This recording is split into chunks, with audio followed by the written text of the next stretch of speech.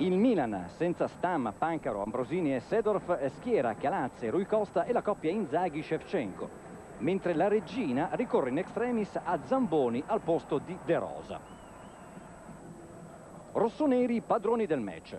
Dopo 11 minuti, grandi numeri individuali di Kakà e Shevchenko e conclusione vincente dell'ucraino al quarto gol in campionato dedica collettiva per il neonato Achille Costacurta, il figlio di Billy e di Martina. La squadra calabrese, con il solo Nakapuna a sostegno di Bonazzoli, è troppo rinunciataria e trova soluzioni unicamente con l'esterno destro Mesto, qui al tiro. Sceva e Inzaghi impegnano la difesa a tre e, e, a cavallo fra il centrocampo e questa difesa si esprimono in verticale ora Cacà e ora Rui Costa davanti alla cerniera Pirlo Gattuso. Rui Costa da vice Sedorf gioca come interno sinistro e lo fa in modo diligente, dinamico e creativo, servendo Shevchenko, diagonale respinto da Pavarini. Difesa del Milan disattenta al 46esimo.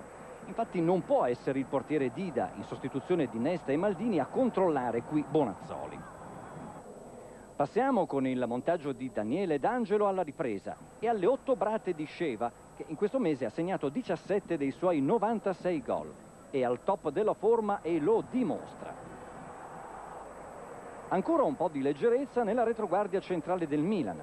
Dopo un errore di Nesta, retropassaggio, rischia tutto di Maldini e fallo di Colucci su Dida. È comunque il segnale di una crescita della regina e dell'improvviso blackout del Milan. Attenzione! Punizione di Nakamura e colpo di testa perentorio di Franceschini, 1 a 1. La reazione dei padroni di casa dopo un quarto d'ora di letargo è veemente. Pirlo diventa protagonista, lancia Cafù e il brasiliano chiama in causa Pavarini.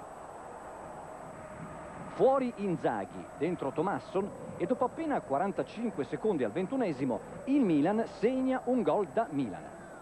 Lancio di Cafù, Stop da scuola di calcio di Shevchenko, la freddezza dell'ucraino che attende l'arrivo dei compagni e la stoccata di Kakà.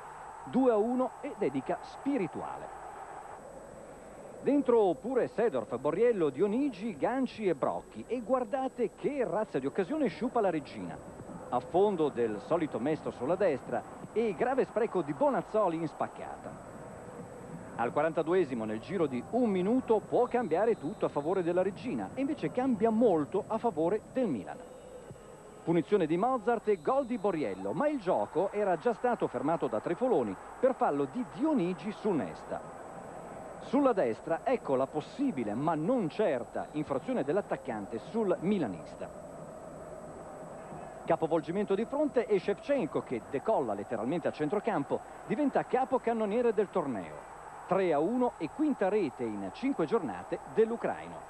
È tutto e la linea torna a Paola Ferrari. Grazie.